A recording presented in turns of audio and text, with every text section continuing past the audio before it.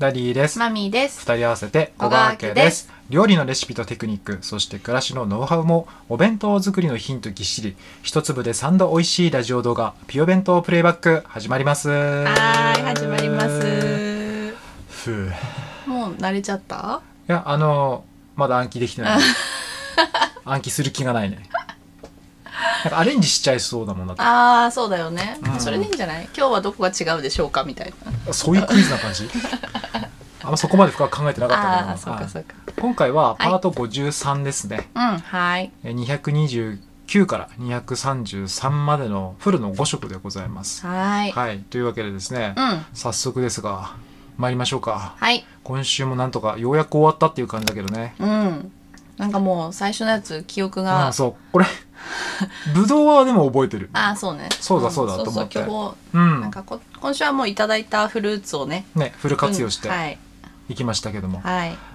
えちくわと野菜のソース焼きそば。はい。これちょっともらいましたけども、うんうんうんうん。前これでも先週先々週かな、うん。ちくわの話これねしたので、はいはいはい。ソースじゃなかったんだよでも。そうだね塩焼きそばだったかなその時は。今回ソースとちょっと和風で、うん。あのーめんつゆ入ってる。うんうんうん、うん。なんか焼きうどん作る時みたいな感じの味付けだったんだよね。はいはいはい。なるほどね、いうん。やごめん。あこれいいのかな。うんとめちゃくちゃポジティブな話ではないんだけど、うん。最近見たテレビで、うん。その野菜中心の,、うん。あのお肉を使わないみたいな特集見たらあーお肉の部分が全部揚げパンだったんだよね、はいはいあったね。それってそれってダディ的な手抜きなんだけどっていう。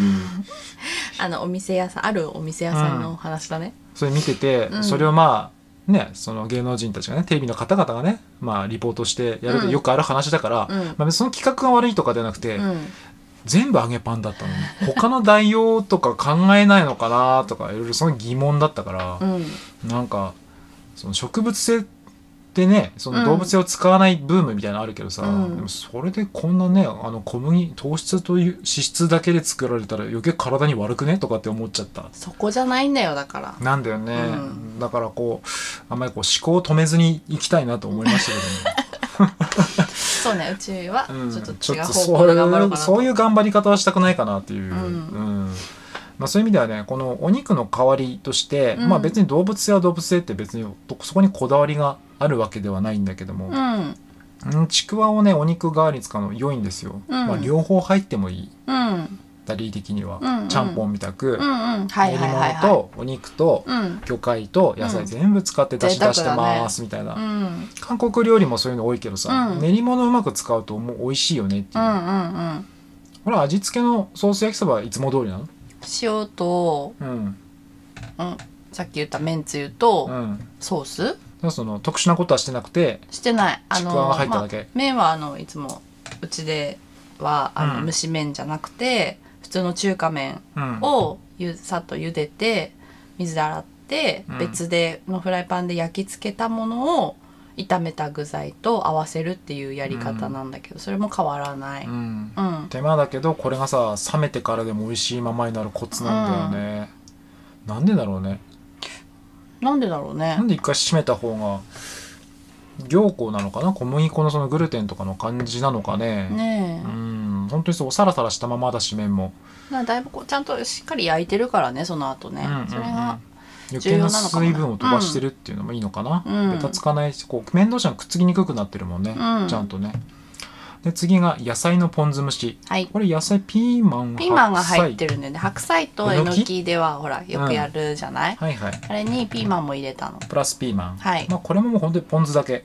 ポン酢と塩。塩か、うん。まあ、ほんとシンプルにうん。作っております。はい。フライパン一つでうん。できます、はい。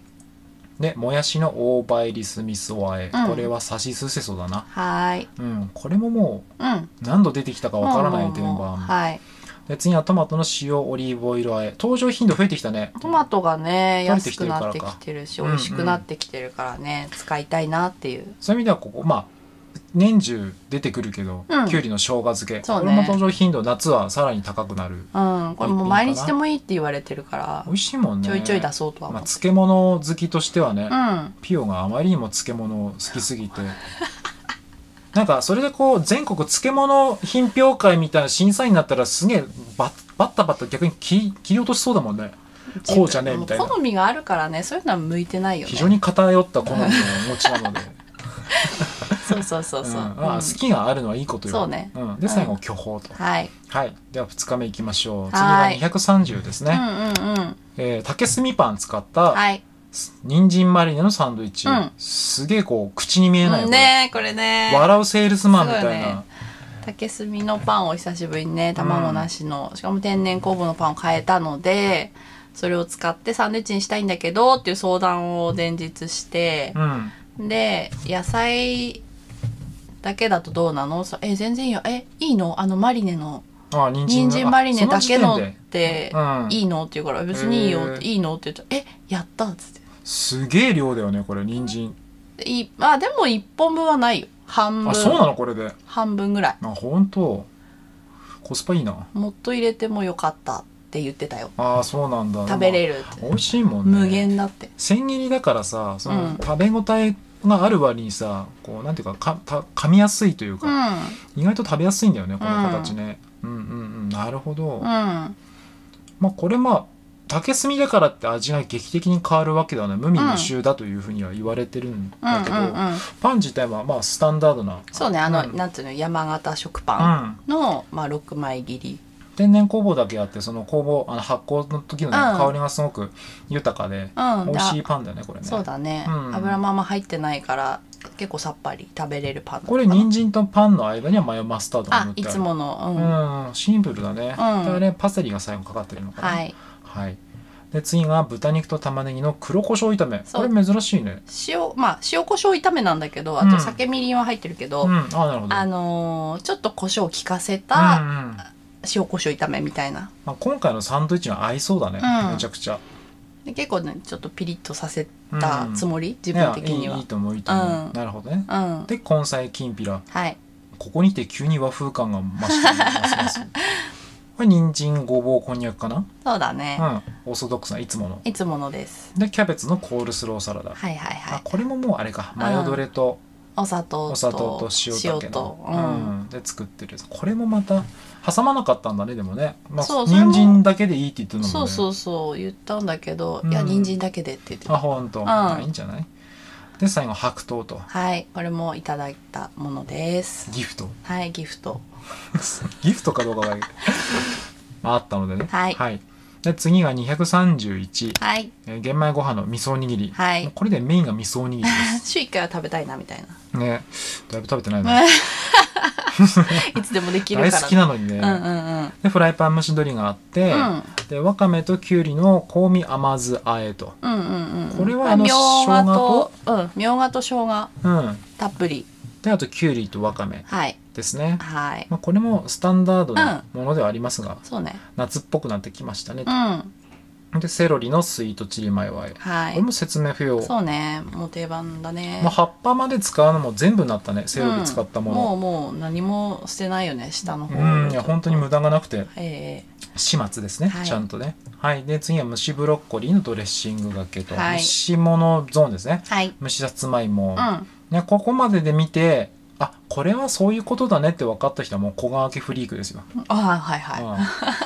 好疲労、あそうだったねそうだったね。うん。鶏胸肉とさつまいもを食べ続けると、まあ、その非常に疲れにくい体を作ってくれるという研究がありまして、2週間以上。うん。うん。食べ続けなきゃいけないんだけどね。らしいね。なんか渡り鳥のもう胸筋っていうか長距離を飛行するために必要な栄養素っていうのは食べて我々も取れるんだそうですよ、うんすごいね。でそれが鶏胸肉として取った方がいいと、うん。うんうんでその他にもいろいろね野菜とかもそういう候補があるんだけどさつまいもがあってね今回その鶏とさつまいもこの蒸したのと両方ねうん。結構うち食べてるから食べてるね。うんいい組み合わせなんだよね、うんうんうんなんでこれコーヒーロー弁当みたいな感じですわ、うん。です。うん、まあそうやって歌ってはいないんだけど、うん、そうね。そうやって言ってはいないんだけども、うん。結果的に、うん。結構このラインナップでもよく見かけるよね、うんピオ弁当では。そうね。うん。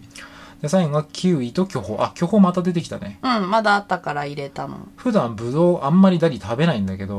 巨峰やっぱうん抜群に甘いね。すごい甘かったごめんねね美味しいって言うね。甘いね。甘い。うん。うん。もう砂糖の塊みたいなのが だからあのワインとかもそうだよね。ワインにはでも使わないかね巨峰は。ピオあそうか。系だから。でも糖度高いよでも糖度うんね高いからだと思う。どうしてもあの皮の渋みというかタンニンがね、あんまり得意ではないのでだよね。だだから赤ワインも飲まないんですけど、うんうんうん。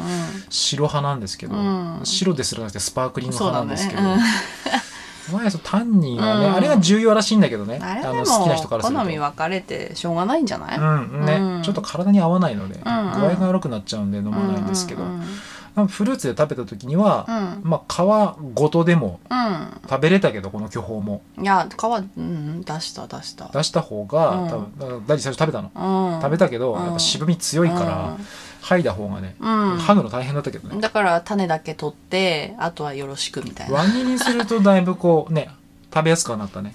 あ輪切りっていうかその半分に割ったことでこうなんだ普通のちっちゃいぶどうみたくね。皮を口の中で、ねうんうん出せるので、これは良かったかな、うん。じゃあ次行きましょう、はい来ました。232、はい。えっ、とカツサンドが来ましたね、はい。書いてある。つまりはい、テストの定番、はい、テストでございますね。お疲れお疲れさんでしたね。頑張ったみたいですよ、うんもうね帰ってきてね、うん。ああだこうだとか、ね、点数がだだなななななまあまあでもなんかなんかあの緊張感も含めなんか楽しんでるよねテストも。まず朝出てる出ていく時の戦闘モードのそうそう面面白い。私はこれから勝負に行きますみたいな。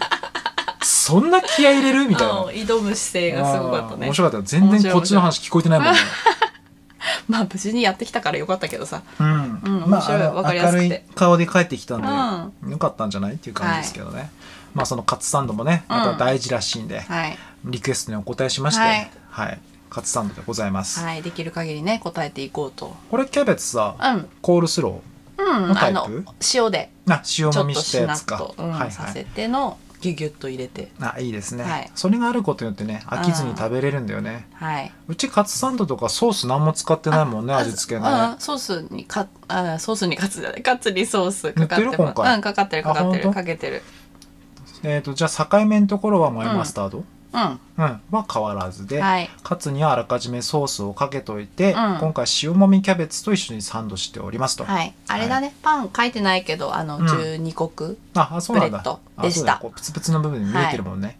はい、い、いと思います、はい。で次は蒸しブロッコリーの味噌マヨ和え好きなもんばっかだな。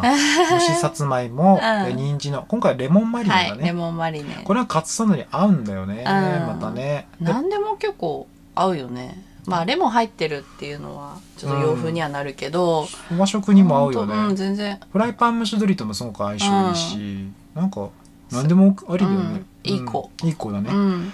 で最後がパイナップルと。はい。夏だね、うん。まあ、これもいただき物ですよ、はい。はい、でテストが終わりまして、今回のラストですね。233いきましょう、はい。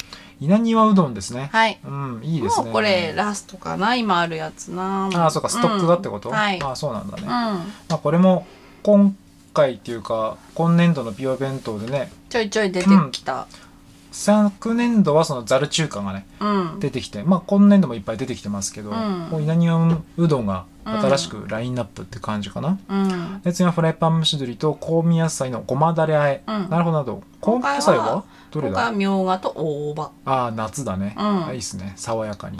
にちょっとあと塩とあとごまだれかけてうん。あえておいた。うんうん、いいですね。でセロリのきんぴらと、うん。もうダディは今回これ今年度のピオ弁当プレイバックはこれかな、うんセロリだよね今のところきんぴら。スマッシュヒット1位は不動ですね、うん。他にもいろいろ面白いの作ってくれてるんだけど、うん。まあこれがインパクト。うん。きんぴらなのにねみたいな感じだけどさ、うんうんうん推しでございます、はい。推しのレシピ。推しの子ブームだからさ 今。あそうだねはい、で次がきゅうりの生姜漬け、まあ、はい。これはもう王道になり、もう殿堂入りだね。殿堂入りですね。ピオのリクエストの中では、はい。で蒸しさつまいも、うん。プチトマト、うん。でこれが天の川をイメージした、はい今日七夕だったからね。ね。うん。ミルキーウェイパイナップル ちょっとやってやろうかと。ハルピスゼリーがまたちょうどね、うん。いいですね。うんでパイナップル星型にくり抜いてとなんか今日朝からチクチクやってるなと思ったら、これだったのねっていう。大変だったねっていう。うんまあでもまあこのぐらいだったら。あんとパインってだってくり抜きやすい形いになってないじゃん。やいやそうなの。だからどうかなと思ったのでくり抜いて、そこをこうあのちっちゃいナイフでこう周りをちょっと切っあめんどくさいうん。めんどくさい。切ってあの形がちゃんとこうね5個ちゃんとこうのん星になってるのを上に乗せてそうじゃないのは下に敷いてであの自分がやることを想像して面倒くさいって言ってるのであってあのマミ偉いなって。うんうん。好きなんだから仕方ないよね、うん。あんまりこうデコとかはしないんですしないんだけどそうだね。うん、今回はまあうん。ちょっとまあ時間もあったしいいかなみたういな、んやれるものをね例えば一末に切ったりとかさたまにやったりするじゃん、だからいいんじゃないかなと思うけまあここぞという時だけねはい。少しデコ要素がはい。入ってきますが。はいというわけで今週のピオ弁当プレイバックはうん。以上5色はい。となっております、はいまあ、7月にも入って、ん。まあ割とこう夏感はね結構前から出てきたけどうん。そろそろ夏休みが見えてきてるのもあるし、そうね。そうねうん、7月の後半から8月の後半約1か月ぐらいはね、うん。お休み期間になりますので。だね。でも7月ちょっとこう投稿する日もあるのでお弁当の日がちょいちょいと出てくるので、まあ、どうやっていこうかなっていう感じかな。うんなんか小学校の頃とそういうの違うよね。こう部活やってる子は部活でしょっちゅう学校行くけどさ、まあ、中学校高校とかになってくるとやっぱ学業としてうん。登校日というか、うん。そういう機会がね出てくるのがなあまあそうだよねと思うことが多いんだけども、まあ、今回そういう意味ではちょっと7月は残り日というかうんうんうん。あるかなとはうん。思います。ね。うんその辺そのその週ごとにやるのかまとめて一回にするのかはちょっと考えてるんだけど、まあまとめて一回にしそうだな、うん。ううん。ん、回数が少ないんで。そうなんだよね、ううん。うん。まあでもこうやってアーカイブね、うん。残してるものからいつもこうこのラジオは展開しておりますので、はい。まあそうだね。今回振り返ってやっぱり思うのが、うん。なんか日々の食事がそのなんていうのかな。なんかこうアップダウンが多いとうん。今回そういろいろこうプライベートな部分とかでもうん。忙しかったのもあって、うん。こう食事してる感じなんだけどやっぱそのイイベントごととかあると食事のリズムはまず崩れますと。うんそうだね。で普段口にしないものを口にする機会が増えますと。うん。で普段食べたい食べてる時間を守れないせいで、ん。間に合わせるために、うん。普段だったら絶対頻度が少ないものの頻度が上がりますと、うんそれによって体が疲れやすくなって逆なんだよね。そのその場限りのエネルギーのために食べるせいで、その1週間で考えるとずっと下り坂なんだようん。ね体調が。体調がっていうか体力がうん。回復しきらない。でそのだんだんその高脂質、うん。あのハイカロリーな食事になれるせいで、うん。なんかこう欲求もうん。あの攻撃的な欲求っていうのは食に対しても,、うん。もうお濃いもの欲しがったりとか重いもの欲しがる欲求が湧いてくるようになっちゃうんだけどそれに合わせるとどんどんまたうん。体がそのその瞬間だけ元気でうん。その後グタってなるんで、うん。あのこれちょっと大げさに言ってるかもしれないけどダニーの方はそういうふうに感じてるうんうんうん。ので、まあこういうピオはそういう意味ではお弁当でしっかりこう、うん。リズムを崩さずに過ごせたので、はいよかったかなという部う分はんありますね。はいもうすあまりにも糖質が多すぎてちょっとしんどかったねだよね。うんうんうんやっぱ外食とか外のものはうん糖質が本当に多いんだなと思って、だからなるべくね、そっちはやっぱ減らしていきたいようん。ね。やっぱ年齢に合った食べる量ってあって、やっぱ日頃からそのやっぱ外でうん。肉体労働してるとか、まあ、そういう頻度が多い人はそういうのもなきゃいけないんだけど、うん。やっぱそこに偏っちゃってる人はどんどんやっぱ見てれば下り坂だし老け込み早いんだよね、うん。だからそれはあんまりこうならないようにしたいうんなうん。というふうにか改めて感じたね、うんうんううんん異食同源は本当そうだよ。そうだね。それは間違いないうんね。健康と食はさもう密接っていうか一体型だよね、うん。うん。食イコール健康そのものだし、うん。活力とかいろんなもの含めて。うん。パフォーマンスうん。下がるもんね、うやっぱ。んうん。糖質の高い脂質の高い食事ばっか続くと、うん。頭が回んない、うん。あと良質な睡眠が取れない。そうだね。睡眠の質が下がる、うん。それはやっぱり感じたな。うんまあねここからは直していけるので、うん。直していこうと。ちょっとリセットしつつ、ええ。だからこういう食事見ると、うん。あやっぱ小分けのご飯がいいなと改めてうん。思う1週間でもあったかな、ううん。んさあそんなところでございますけども、はい。まあ、ピオベントプレイバックあと23週間ぐらいかな、うん。まあ、続くとは思うんですけども、うん夏場まあちょっとね最近気温も雨もそうだけど。そうだね。湿度も高いから。本当にだからあの冷やすものはいっぱい入れて、うん、キンキンに冷やして持っていかせてるので。腐敗怖いよね、うん。青森でやっぱ30度超えが普通になっちゃってるので、ねえだだって京都の方とかあっちの方はもう35度超えたりとかさする日もあるみたいだから、本当に気をつけないとね。そうだね。あんまり暑いとお弁当っていう文化自体が難しくなっちゃうよね。そうなんだよね。もっていけないじゃんって、うん。冷蔵庫のまま持っていけるものってやっぱコンビニとかそういうとこで買うものじゃないと、うん。冷蔵し続けてさね。輸送できないからさ、うん。結構あのこのリュックの中に入れていくってリスキーだよね。いやほんとそうだよ。だから保冷バッグとその保冷剤はもうなんかお惜しみなくというか。そうだね、うん。うんうん。